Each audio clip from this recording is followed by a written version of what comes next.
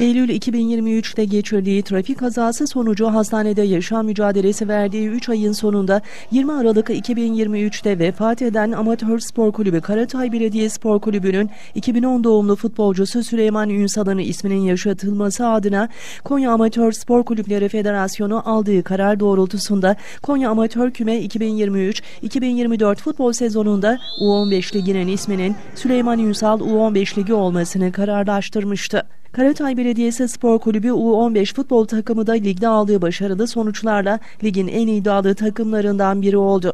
Uzun süren maratonun ardından Karatay'ın başarılı U15 futbol takımı Dumlupınar Stadı'ndaki ligin son maçında Konya Kasırga Spor'la karşılaştı.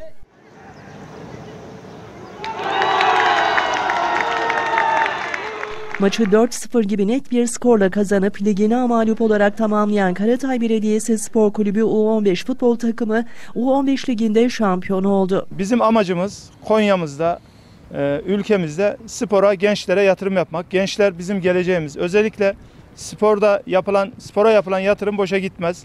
E, Gençleri her şeyden önce kötü alışkanlıklardan alıkoyar.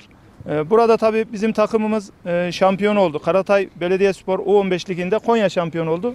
Şimdi e, bizi artık Konya'mızı arkadaşlar sizler Türkiye'de temsil edeceksiniz. Arkanızda koskoca bir Konyalı hemşehrilerimiz var. Onların duası var.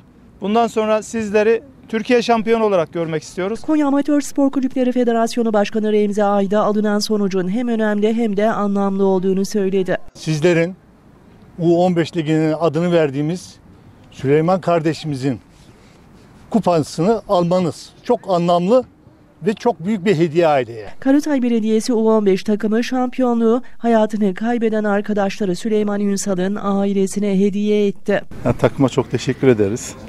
Oğlumuzun adını yaşatıyorlar. Başkanımıza teşekkür ederiz. İnşallah şampiyon olacaklar. Bizi gururlandıracaklar.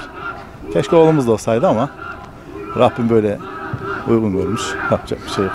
Hepsine teşekkür ederiz. Sağ olun.